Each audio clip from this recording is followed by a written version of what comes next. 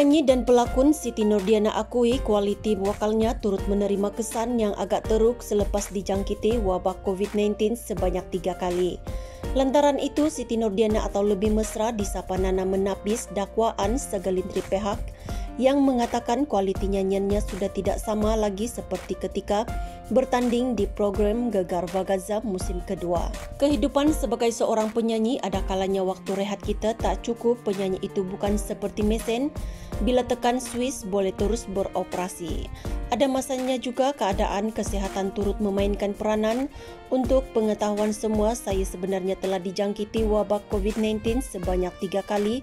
Ia sedikit sebanyak memberi kesan dari segi pernafasan dan suara. Bagaimanapun, Nana mendedahkan dirinya menerima segala kritikan dengan hati yang terbuka dan bersedia untuk memperbaiki setiap kelemahan.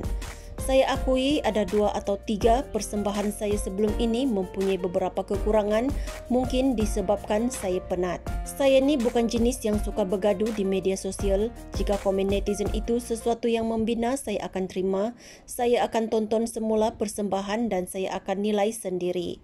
Saya tiada masa untuk mengakui kesilapan saya kerana tiada sesiapa pun yang sempurna ujarnya lagi. Dalam pada itu, Nana turut memberitahu dia juga tidak mempunyai masalah andai terus dikenali dengan jolokan penyanyi leman atau lagu mendayu-dayu yang sudah menjadi identitinya sejak sekian lama. Saya sebenarnya berbangga bila digelar penyanyi leman, setidaknya ada cop mohor atau identiti yang melambangkan Siti Nordiana.